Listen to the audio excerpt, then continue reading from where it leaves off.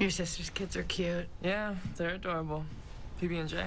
Yeah. Did you ever feel the kid marriage pressure?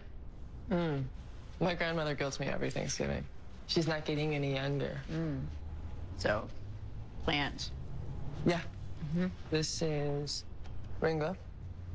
Makes sense. this is Janice. Mm-hmm. Mm-hmm.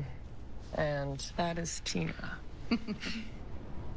I actually love kids. So much that I don't want any.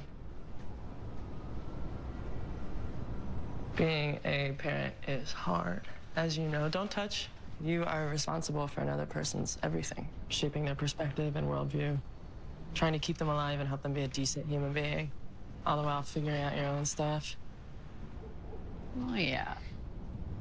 But there's a lot of love that kind of comes in to balance all that. I love, I love my plants.